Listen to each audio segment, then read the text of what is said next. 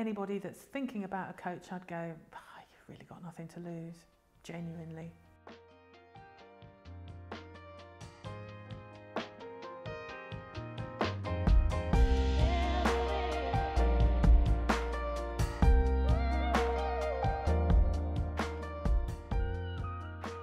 So it was just me, and when I've got bigger projects that there was no time to do, I would go to those websites that you can hire people um, to do specific projects for you. So I genuinely used to um, find uh, freelancers to assist me to deliver what I needed to deliver for clients. Probably would have just kept on bumbling along. Um, I might have probably, I may have found a, a real job, you know, for another corporate bigger organisation.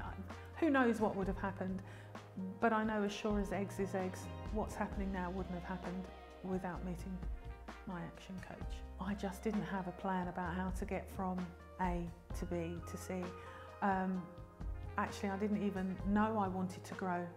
It wasn't really until I met Brenda and she talked about the possibility and put me on a real, real strong path, uh, kept me focused, kept me accountable, um, said all the things I wanted to hear, said all the things I didn't want to say, one it needed to hear anyway.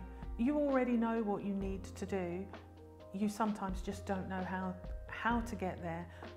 But you, you might have the beginnings of a strategy. It's just the coach helps you to bring them out of yourself. Because we all know we don't like to be told what we need to do. We need to be coached into making the right decision. So I think I took a lot of pressure off of myself. So um, how long did I take to see? At least three months.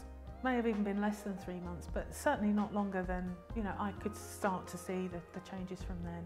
Now I am here, um, I feel like I was maybe born to do it because it's it's not as scary as you think. And when you've got someone like her and any of the other action coaches that I've met here in um, the north east of Scotland, they're all the same. They're, they're all absolutely rooting for you. It's the power of trusting people to do what you know they can do and, and actually wanting them to be better at what you were doing than they were. Oh, that's the real shift. Um, I, there was a, um, I can't remember the phrase, but it's something like I was saving a, I was saving a salary to pay a wage or something like that. I'll, I'll come back to it. But um, Brenda really got me to think about the time I was investing doing something was better spent paying a professional to do it 10 times faster. In the first year, my turnover increased by 61%.